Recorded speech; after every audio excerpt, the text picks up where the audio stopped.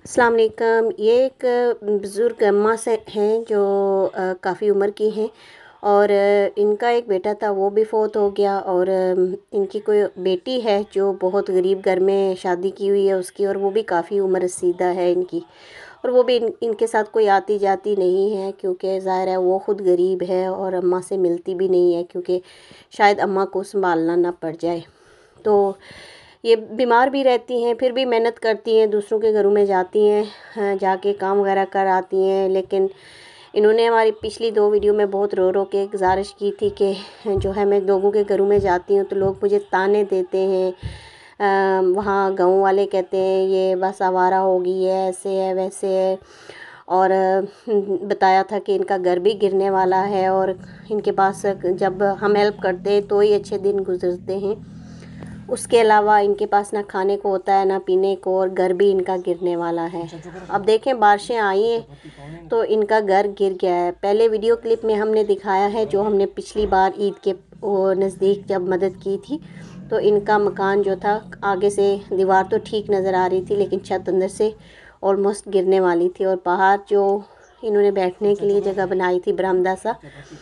वो भी मतलब उसके ऊपर तो वैसे ही लकड़ियाँ रख के छत डाली हुई थी। तो अब वो गिर चुका है और जो इनकी हवेली है गार्डन वॉल जो थी वो भी गिर गई है। तो ये हालत है और इसमें कच्ची ईंटें लगी हुई हैं जो हम दोबारा इस्तेमाल नहीं कर सकते। तो इस वक्त हमें अशद ज़रूरत है सम फंड्स की एक कमरा बनाने के लिए और उसके आगे थोड़ा सा बरामदा और इनका बाथरूम ठीक करने के लिए और ये हवेली की दीवार चार से पाँच लाख का ख़र्चा है। तो ये चार से पाँच लाख का ख़र्चा है। तो एक भाई हैं जिन्होंने हमें डोनेट किया है एक लाख सत्तर हज़ार। तो हमने कोशिश तो की है इनका घर का काम शुरू करवाने की। लेकिन चार से पाँच लाख जो खर्चा आएगा, वो भी कोई बहुत ज़्यादा आला मकान बना नहीं पाएँगे। बस बेसिक सा है कि ये सीमेंट के साथ उसका छत पक्का किया जाएगा और दीवारों को भी और अच्छी तरह ठीक करके इनके मकान को ठीक किया जाएगा। इस अम्मा को एक वाटर पंप की भी ज़रूरत है। इसके घर में वाटर पंप नहीं है हैंड पंप जो होता है।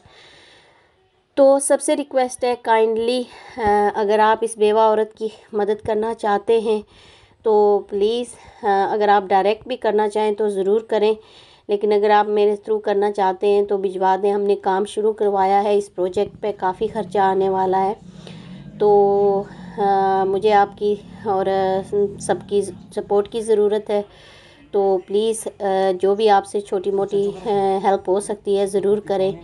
और इस अम्मा के घर को दोबारा बनवाने में मदद करें। मैं आप सब की बहुत शुक्रगुज़ार हूँ कि जो भी प्रोजेक्ट स्टार्ट होता है, आप लोग दिल खोल के आगे बढ़ चढ़ के हिस्सा लेते हैं और जो है स्वाब हासिल करते हैं।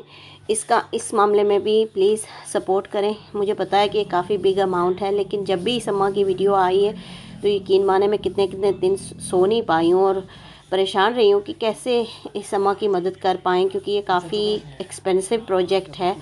लेकिन उसको भी कोई और सहारा नहीं नज़र आ रहा था और यहाँ तक कि वो अपने दो वक्त की रोटी के लिए किसी के घर मालिश करने या बर्तन धोने चली जाती है तो लोग उसको वहाँ जो है बुरा भला कहते हैं और तरह तरह की बातें और ताने कसते हैं। तो देख लें हाँ आपके सामने है सिचुएशन और हालात।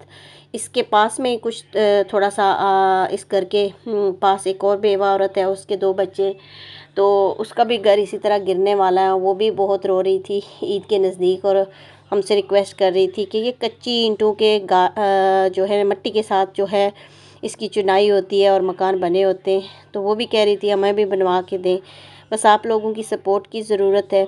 तो प्लीज़ काइंडली सपोर्ट करें। अल्लाह आपकी तमाम देना और सपोर्ट करना कबूल करे और तमाम मुश्किलें आसान फरमाए। जजाकल्ला खैर।